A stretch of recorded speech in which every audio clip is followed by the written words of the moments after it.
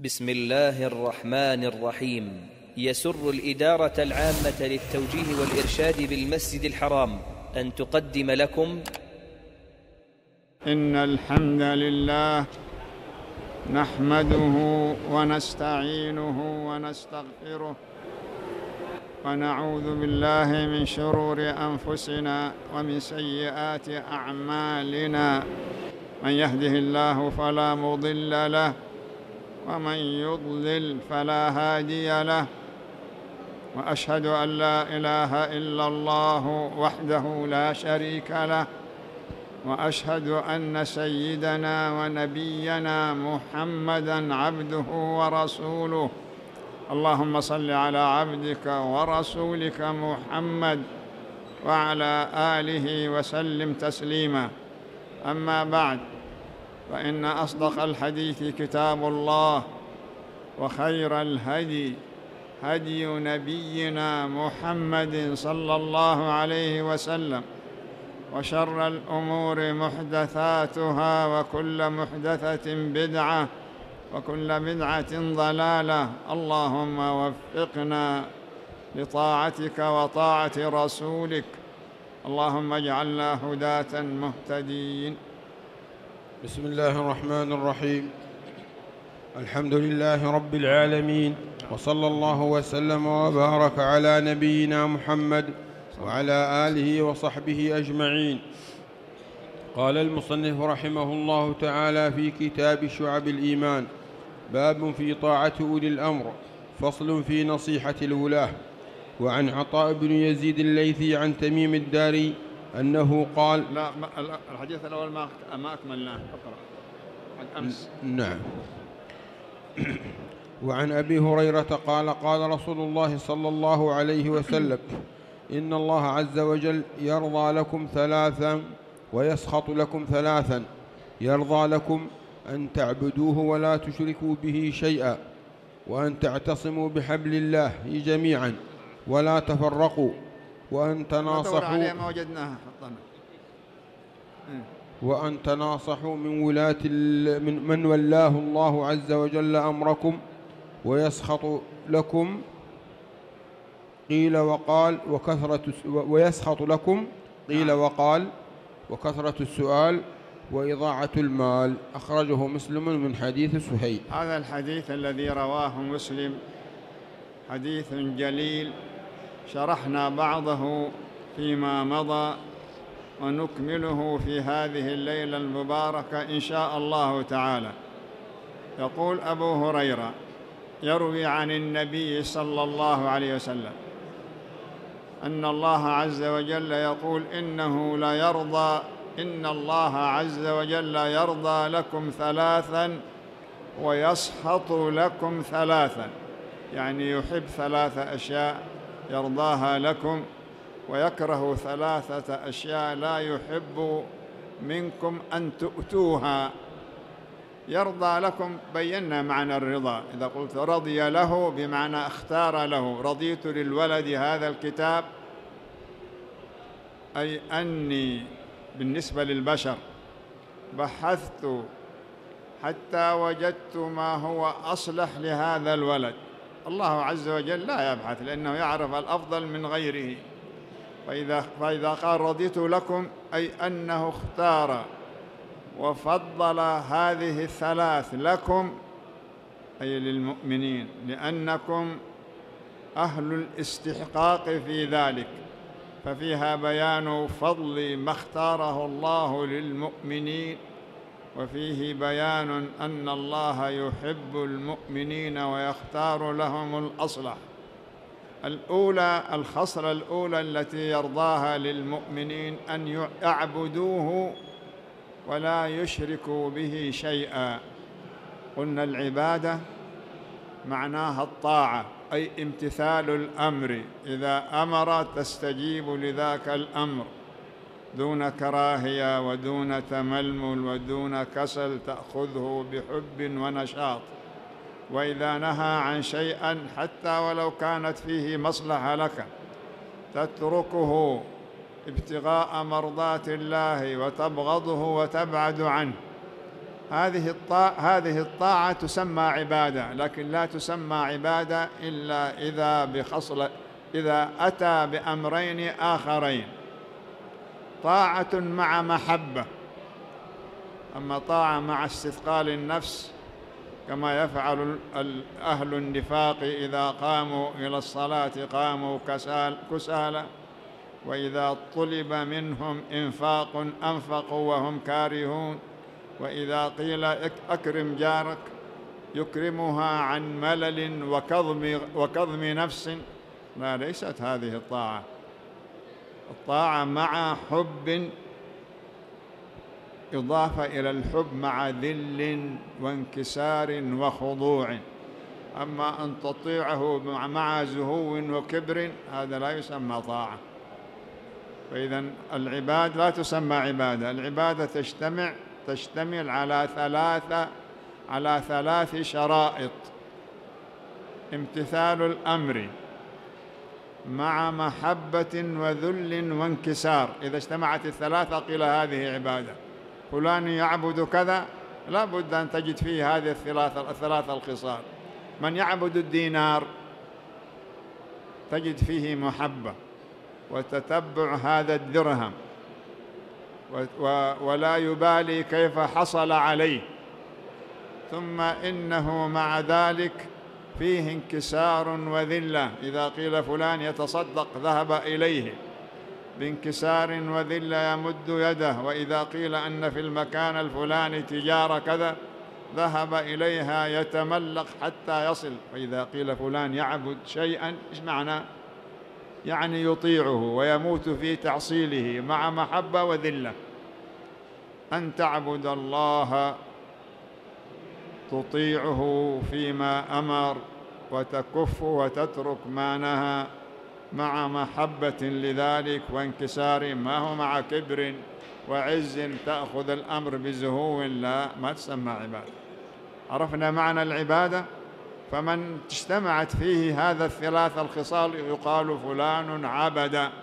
هذا المعبود إما أن يكون الإله سبحانه وهو الذي يجب أن تصرف العبادة إليه. ومن صرفها لغيره يقال فلان عبد فلان. ولذا تجد دائما إذا ذكر إذا أمر الله عباده بالعباد جاء ببعد بعدها بآيات عظام تدل على أنه وحده المستحق للعبادة. يا أيها الناس اعبدوا ربكم الذي خلقكم ثم ذكر أنه جعل لكم السماوات والأرض وسخر لكم كذا وكذا. هكذا الآيات كلها. إذا جاءت آية فيها الأمر بالعبادة والإخلاص إلا ويأتي بآيات تدل على أنه المستحق لذلك لأنه الآمر والناهي الخافض والرافع والباسط والرازق. ولا تشركوا به شيئا. لا تصرف شيئا من هذه العبادة لغيره. لا تجعل له ند أن فلان يستطيع أن أن يسعد وأن يرزق وأن يقطع الرزق وأن يفعل ذلك. ولا تجعل لأحد كذلك مشاركة فيما تفرد الله به من من ذلك الأمر. كالخوف. ما ينبغي أن تخاف أحد أنه يفعل ويمنع وكذا إلا الله عز وجل. ولا ترجو أحد لأن الله عز وجل إن أراد إعطاءك لا يستطيع أحد أن يمنع ذاك العطاء وإذا أراد منعك لا يستطيع أحد أن يمنع ما أراد الله إعطاءك إياه. فتعلم أنه وحده الذي يملك تدبير الخلق جميعهم فلا ترجوه إلا هو فلا تجعلوا لله أندادا وأنتم تعلمون. لما نهى الله عباده أنه يجعل له أندادا دل على أن هذا موجود في العباد. حتى بين المسلمين من تسمى باسم الإسلام تجد فيه. إما أنه مع إيمان على زحزح ومع إسلام يرى أن هذا العظيم هو الذي بيده لو قبل منه معاصي الله عز وجل يستطيع إنقاذه. وبعضهم يرى أن فلان هو الذي يرجى إما أن يكون شيخ أو, أو كذا أو زعيم أو ما إلى ذلك. ولما قال فلا تجعلوا لله أندادا دل على أن من العباد من يجعل له أندادا. ولما نفى صل ربنا سبحانه أن يكون له شبيه وشريك ونظير دل على أن في العباد من يجعله له, يجعل له ذلك. ويقول سبحانه اعبدوا الله ولا تشركوا به شيئا لا تجعلوا أحد من خلقه نظيره ومثيله لا ينبغي لأحد. ولا يقال مثلا أن الدهر أو الكون أو الفلك هو الذي يزلزل الأرض وهو الذي يقوم بالخسف وهو الذي يجري الفيضانات. فتنسب هذه إلى أسباب أو غير أسباب. فإن جعلت ذلك فأنت جعلت لله كفوا. والله عز وجل ينفي أن يكون أحد له كفو ذكرنا هذه لأن العباد يفتقرون إلى هذا المعنى وهم في حاجة إليه وإلا مضى ذكر بعضه فيما سبق. ثم يقول صلى الله عليه وسلم فيما يرويه عن ربه عز وجل بعد أن قال يرضى لكم ثلاثة الأولى أن تعبدوه ولا تشركوا به شيئا. الثانية يا عبد المغني. الثاني أن تعتصموا بحبل الله جميعا ولا تفرقوا. أن تعتصموا بحبل الله جميعا ولا تفرقوا. هذه جزء من آية في آل عمران. واعتصموا بحبل الله جميعا. اعتصم أمر بالاعتصام. والإعتصام بالشيء يفيد معنيين. أن تتمسك به تقول اعتصم فلان بالحبل أو بالسلسلة أو بالجدار أي تمسك به. هذا التمسك وهذا الاعتصام إنما يفعل إنما يفعل العبد به إما لأجل الثبات أو السقوط أو أنه يعتصم بالجبل خشية شيء يهجم عليه. فإذا معناه المنع أن يمنع ويدرأ عنك المخاطر. فلا يعتصم بشيء إلا يت... إنسان يتمسك به لأجل فائدة وهو أن يمتنع ويبتعد عن خطر. اعتصموا أي تمسكوا وامتنعوا وامتنعوا بشيء ما بهذا التمسك. المتمسك به قال حبل الله.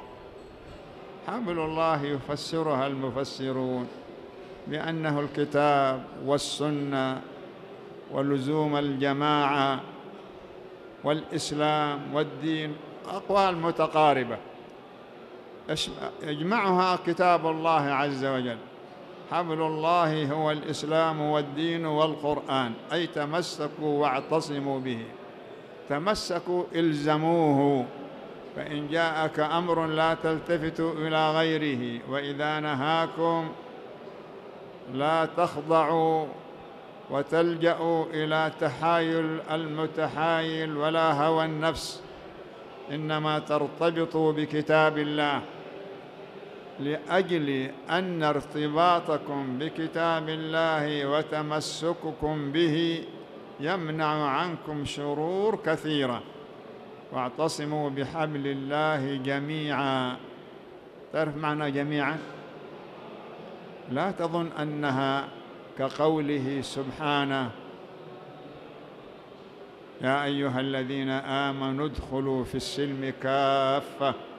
فتفسر جميع بمعنى كافة.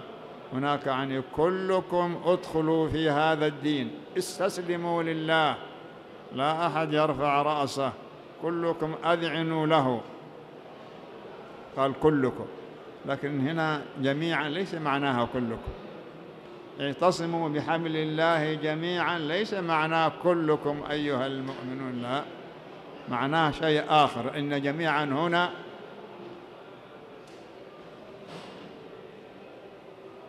في اللغة العربية تعرب حالا.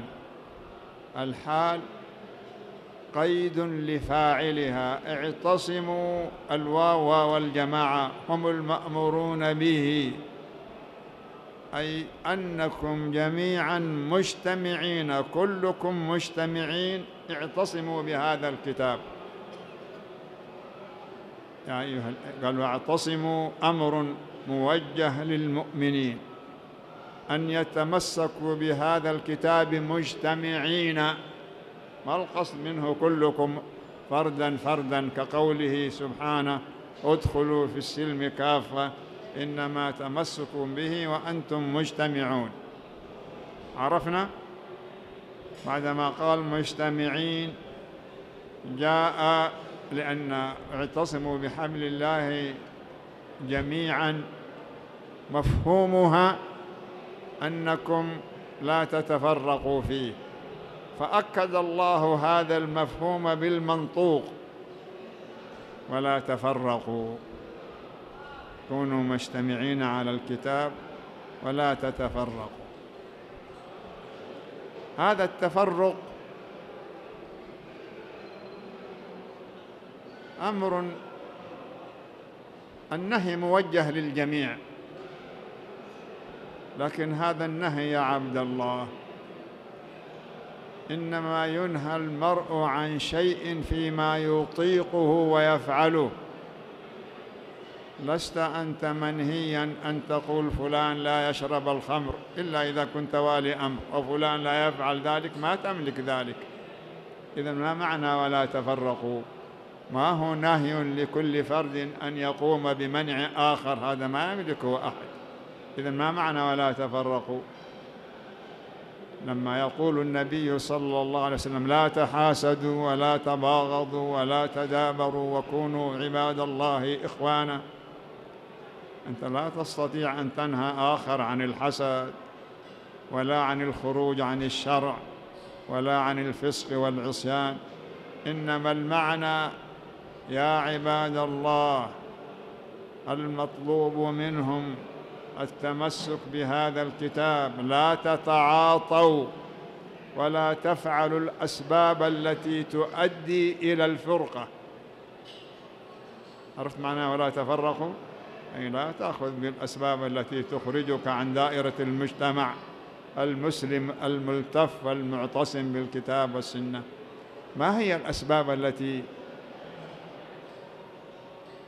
التي يؤول فعلها تفرق المسلمين.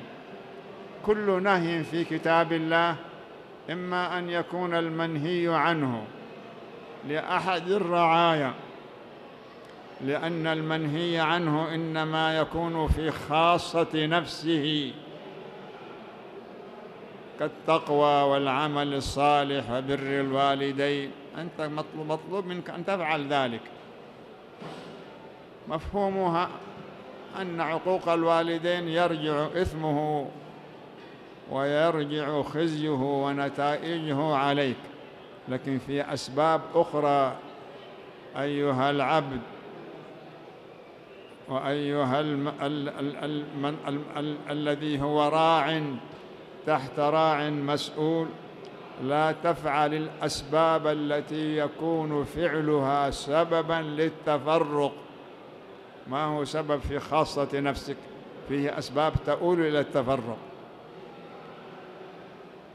وهي كثيرة جدا في كتاب الله لأن المنهيات أحد أمرين إما أن عاقبته وسوء فعله يعود على المخاطب أو أن عاقبة هذا يعود إلى المجتمع. كالنميمة فإنها ضررها يعود لا على على النمام إنما يعود على غيره. كالخطبة على خطبة أخيه ذهب رجل يخطب امرأة قام قام آخرون يخطبون هذه المرأة بعينها. هذا يؤدي إلى التفرق أسباب تؤول إلى البغضاء. لا يبيع أحدكم على بيع أخيه. ونهى عن النجش ونهى عن كذا المسارعة في السيئات. كثير من المنهيات عنها تؤدي إلى الفرقة فإذا قال سبحانه ولا تفرقوا. فهمتم المعنى؟ لأن هذه المعاني قل من يتفطن لها. فإذا أمرك الله بالاعتصام بالكتاب والسنة وجماعة المسلمين ونهاك عن التفرق تقول أنا لا أملك. ما الذي يقدرني على أم أمنع غيري من التفرق. يقول يقال له لا ليس الأمر كما فهمت. إنما نهاك الله عز وجل أن تتعاطى أسبابا تؤدي إلى الفرقة. ما هي الأسباب؟ كثيرة. فيه أسباب فعلها أشد وأنكى من أسباب أخر. وفيه أسباب ضررها لا يكون ذاك الفعل المؤثر إلا إذا تفاقم الأمر إنما هو تدريجيا. الله عز وجل أمر عباده بالعبادة وفيها المحبة وهذا الحب لا ينبغي إلا لله الحب أن تقدم أمر الله على مصالحك. في أمور تهمك من أمر الدنيا. فإذا جاء أمر الله يعارض هذه المصلحة تقدم أمر الله لأنك تحبه. فإن قدمت مصلحتك على أمر الله خنت من ائتمنك على الضحايا. وغدرت بمن ائتمنك على بدل الحج. ثم إنك سعيت في إفساد من ائتمنك على عرضه. هذه خيانة لأن الشهوة والهوى والمصلحة غلبت على خوف الله ومحبته. من, من هذا الأمر يتفاقم ضرره وشدته على تفرق تفرق المسلمين. كلنا كثير منا يسمع أن أناس يحبون شيئا من المباح الذي أجازه الله لفترة ما لأجل ازدياد النشاط فإذا جعله هو الوسي هو هو المقصود ذاتا لأنه وسيلة.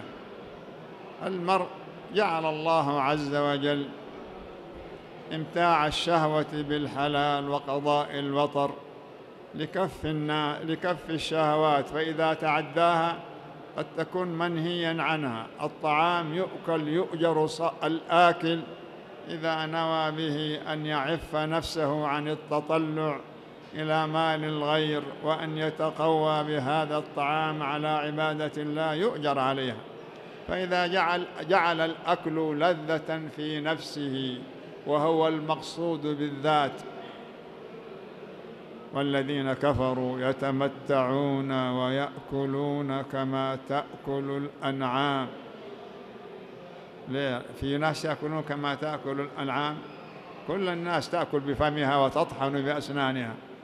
إذا ما معنى أكل الأنعام الأنعام تأكل لتعيش. لكن إذا فعل المرء إنما يأكل ليتقوى ويعبد الله. فإذا جعل هذه العبادة وهذه اللذة لأنه أحبها وجعلها المقصود الأول كانت يا عبد الله فتنة وسبب في التفرق. انظروا هذا الحب يلجأ أحيانا إلى كثير إلى من تولى هذا الحب نفسه كان سبب كبير في التفرق. الرياضيات والرياضيات المنطقية الرياضيات البدنية التي فيها مزاولة تعود على المرء بالنشاط. إذا كانت هوى في النفس ووجدت فرق للمغالبة ثم هذا الأمر يستهوي الناس لأنها بطالة ما فيها أمر ولا تكليف. في أمور أخرى فيها كلفة كالقيام للصلاة سيما في البرد ولا بد من مقدمة وضوء قبل الصلاة. هذه أمور ليس كل الناس ينشط لها لكن تقول تعال العب كلهم يهوى ذلك. فإذا كانت فرق جاء الشيطان حينئذ وزين هذا الأمر للناس فأصبحت أحزاب مجموعات. ويكون هم المرء في ذاك الفريق. نصره وتأييده ينام وهو يحلم به ويذهب وهو يفكر فيه. ويقوم ليلا ونهارا يسعى في استعداد مستلزمات ذاك الأمر. أنتم ما تشاهدوا هذه؟ نحن نشاهده. هذا يؤدي إلى أن لأن ليس من منطق العقل أن يقوم جم أن تقوم جماعة بإيجاد لعب يشمل جميع وشباب أهل القرية. ما يكون أهل القرية متفاوتون في الزمن والمسافة. هناك أناس في الشرق وأناس هناك في الغرب. هؤلاء لهم هواية في هذا اللعب هؤلاء هواية في هذه اللعب. ثم يريدون امتزاج النشاط في الأفعال والمغالبات. هذا الحب يتولد منه حينئذ أنك توالي هذا لا لأجل الله إنما هوى. ينشأ منه كراهية وبغض ومنافسة. هذه من أسباب الفرقة. هذا في اللعب في الدنيا. ما بالك إنسان يجتمع على شيخ أو كتاب ويظن أنه أحق الناس برحمة الله غيره غير مرحوم. ما رأيتم هذا؟ ويظن أن أولئك الطوائف كلهم كما قال الله عن اليهود والنصارى فقالوا لن يدخل الجنة إلا من كان هودا أو نصارى. يعني اليهود قالوا الجنة لنا نحن. والنصارى قالت الجنة ما يدخلها إلا نصراني تلك أمانيهم لأن هذا هو باطلهم. يعني نحن اختصنا الله برحمة منه. هذه النعمة ما ينالها غيرنا. هذه الفرق الموجودة الذين هم أتباع المشايخ فيهم هذا النوع. يبغضون غيرهم لأنهم ليسوا منهم ويظنون أنهم إما في النار أو أنهم ليسوا بمرحومين أو الابتعاد عنهم. وهكذا يأتي الشيطان فينزغ بين القلوب فيقول الله عز وجل واعتصموا بحبل الله جميعا ولا تفرقوا. عرفت معنى ولا تفرقوا؟ اقرأ يا عبد الله. وأن تناصحوا من من ولاه الله عز وجل أمركم هذه الثالثة التي يرضاها الله لعباده. الأولى اعتصموا بحبل الله جميعا أن تعبدوا الله وحده ولا تشركوا به شيئا. الثانية أن تعتصموا بحبل الله ولا تفرقوا. الثالثة أن تخلصوا لمن والله أمركم. اقرأ العبارة الثالثة والثالثة. وأن تناصحوا من ولاه الله عز وجل أمركم. أن تناصحوا النصيحة في هذا الحديث ليست معناها الوعظ كما نفهمه فلان ينصح ولده وفلان ينصح جماعة بمعنى يقدم لهم الإرشاد والتوجيه ألا يفعلوا ذلك ويفعلوا ذلك. تلك تسمى نصيحة لكن ليست هذه هي المقصودة. النصح هنا يا عبد الله المراد به الصدق والإخلاص. الإخلاص نفهمه لكن زيادة إيضاح أنك تريد بهذا العمل وجه الله عز وجل لأنه تعل أنك تعلم أنك إن فعلت هذا عن وجه تريد به الله عز وجل لا غيره أن الله يثيبك ويؤيدك وينعم بك في هذه الدنيا وفي الآخرة. فأنت تخلص العمل لا لأجل أن تنال منصب ولا لأجل أن يقال فلان كذا ولا لأجل أن الناس يتطلعون لله وحده. هذا أحد معاني الإخلاص. عرفت هذا؟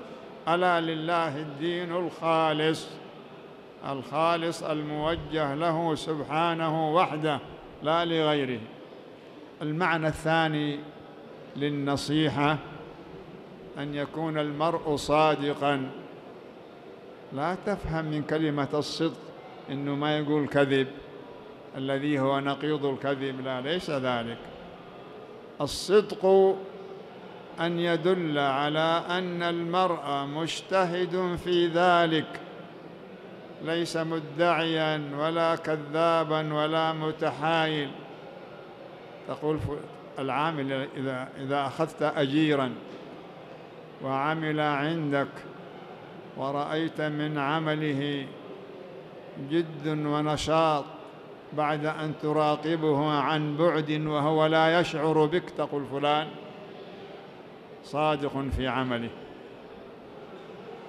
فالصدق كما يشمل الاعتقاد يشمل العمل ويشمل القول. اذا الصدق معناه أنه يأتي بأمر بجد لا يتلاعب فيه ولا يريد غيره. اذا النصيحة في هذا الحديث وأن تناصحوا من والله عليكم. معناه إيه يا عبد الله؟ أن تعمل بإخلاص وصدق. تذهب إليه وأنت مستعد للنصيحة. بمعنى أنك تذهب إلى من والله عليه من والله عليك أمره أن تكون صادقا في ممشاك مو تتكاسل وتتردد ما معي عون ولا معي رفيق ولا أدري كيف الخروج ما معي اجره كافية للسيار. كن صادق في هذا واخرج متوكل على الله. واعلم أن الله عز وجل محيط بأمرك مع الإخلاص. ما تريد وجاهة يا عبد الله ولا تريد تقرب ولا تزلف. إن اجتمعت هاتان الخصلتان في المرء علم أنه عمل عملا عظيما. لأنك إن أخلصت قلت هذا الكلام بينك وبين من والله عليك. ما تأتي في ملأ من الناس وتقول أيها الحاكم ما فعلت كذا وافعل كذا. هذا ما أراد وجه الله. لو أراد وجه الله ما سلك هذا السبيل. ونهى صلى الله عليه وسلم أن يفعل ذلك.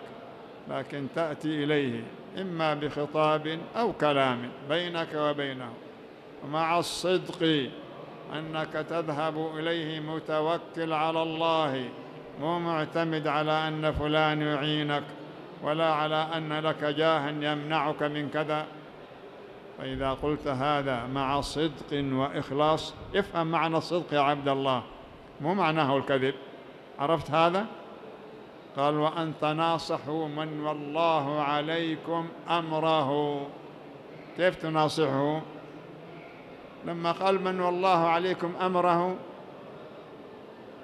لا تفهم أن من والله عليكم أمره كعمر بن عبد العزيز ومعاوية رضي الله عنه ومروان. لا هذا مستحيل هذا. هذا الخطاب لهذه الأمة إلى أن تقوم الساعة ولا يأتي جيل إلا وقبله أحسن منه وما بعده أردأ منه. لما قال الوالي على علاته ما دام هو يصلي ولا يمنع الناس من الصلاة يجب مناصحته ويجب أن تقول الأمر وتبين له أن هذا يؤدي إلى كذا وأن هذا يخالف وأن هذا الفعل غير كذا. مع هذين الوصفين. اضبط هذا يا عبد الله. حتى لا يشوش عليك آخر. تشويش. ولا تقول سألنا ووجدنا من يخالف. افهم هذا حتى يفتح الله على قلبك نور الحق. ثلاث يرضاه الله لعباده. الأولى إيه؟ أن تعبد الله ولا تشرك به شيء والثانية ما هي؟ أن تعتصموا بحبل الله جميعا. إيش معنى جميع يا عبد الله؟ يعني مجتمعين ما متفرقين. لأن جميعا ما تستطيع أن تأمر غيرك. أو تنهاه لا تملك ذلك. يعني جميعا مجتمعين على هذه غير متفرقين. ولا تفرقوا أي لا تتعاطوا أسباب الفرقة. لذلك تعلم أن من تمسك واعتصم بالكتاب عمل بأوامره واجتنب نواهيه فإنه لا يكون تفرق. وإذا وجدتم أناس متفرقين فاعلم أنهم ما أخذوا بالكتاب بل تعاطوا أسبابا تفرق الناس. لما يقول سبحانه وتعالى ولا تكونوا كالذين تفرقوا واختلفوا من بعد ما جاءتهم البينات وأولئك لهم عذاب عظيم. هذا النهي وإن كان أصله أهل الكتاب هو فعلهم. لكن قال يا عباد الله لا تفعلوا ذا كفعل هؤلاء. هذا يدل على أن في الأمة من يفعل هذا الفعل. ولا تكونوا كالذين تفرقوا واختلفوا من بعد ما جاءتهم البينات. إيش معنى البينات؟ البينات جمع بينة. والبينة أي الخصلة والأمر البين الواضح. إيش فائدة بينه جاءت أوامر. أي هذا الأمر الذي جاءك من الله عز وجل. نهاك أمرك بإكرام الجار. يعني لا ينبغي أنك تهينه ولا تؤذيه. هذا واضح. لو تأتي بالطعام وتعلم أن جارك يعني فيه فقر ومسألة وعياله ضعاف. وأنت مما وسع الله عليك. فتأتي بالزنبيل. تعرف الزنبيل معنى إيه؟ الزنبيل معناه نوع من وعاء يعمل من خوص. يحمله صاحب البضاعة إذا أراد أن يأتي بحاجات أهله. فيضع فيه اللحم والخضر والفاكهة فيحملها. فإذا حملت في هذا الزنبيل حملت في هذا الزنبيل طعام له رائحة. الناس يضعون في الطعام توابل وأفاويه وأشياء مما وتعلم أن جارك الفقير الضعيف الذي له أولاد يشمون هذه الرائحة أو طبخت في الطعام وتعلم أن روائحه تذهب إلى جارك ثم إنك لا تعطيه ولا تكرمه. هذا مما ينبغي ولا يفعله المرء لأن هذا مما يؤدي إلى انكسار النفس وإيجاد عداوة. والله عز وجل أمرك أن أن تضم الجمع وأن أنك لا تتسبب بشيء مما يفرق الناس. ثم ذكر الخصلة الثالثة التي يرضاها الله لعباده أن تناصح. لما قال تناصح دل على أن الفعل أكثر من واحد. وأن تناصح من والله أمرك. من والله أمرك يعني مسلم وإن كان عاص. مسلم وإن كانت فيه أمور. يكرهها المرء ويعلم أنها غير طاعة لله لكن أقام الصلاة وآتى الزكاة. انصح له وعدم النصح. أمور ما تتعدد. قل من يسلم أنه إذا اجتمع مع أناس بدأوا يقولون فلان ذاك الوالي وفلان ذاك الحاكم وفلان ذاك رئيس كذا. ويأتون بالخصال مما يثير بعض ما في القلوب من حقد وإضغان.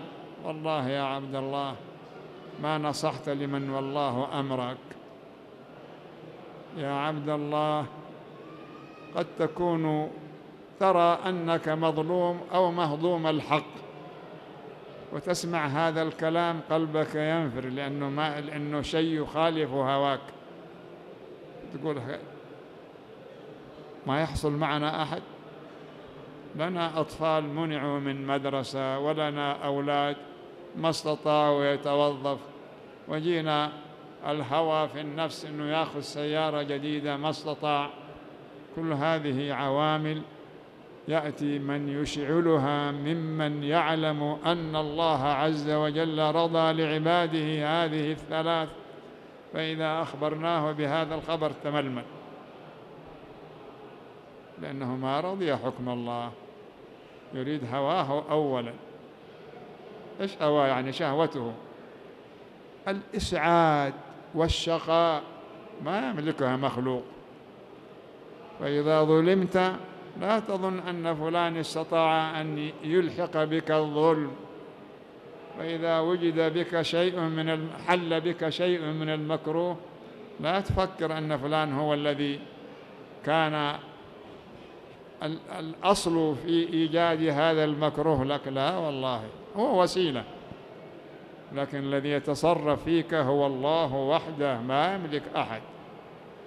فإن وجدت شيئا تكرهه فاعلم أن إصابتك بذلك. إما بذنب منك أو أن لك منزله عند الله لن تنالها إلا إذا حل بك شيء من كذا. فانصح للوالي وأخلص له ونسأل الله عز وجل لنا ولكم التوفيق والسداد والعصمة. ويا عبد الله المكروب لا تظن أن الكرب حصل منك من فلان إنما من نفسك. أولما أصابتكم مصيبة قد أصبتم مثليها قلتم أن هذا. تعرف هذا القول من قاله؟ أفضل الناس وأفضل الأمم من نوح إلى أن تقوم الساعة الساعة. هم أهل أحد. الله عز وجل يقول هذا ما؟ هذه المصيبة من أنفسكم أنتم. ما جاءت من أحد. أنتم السبب.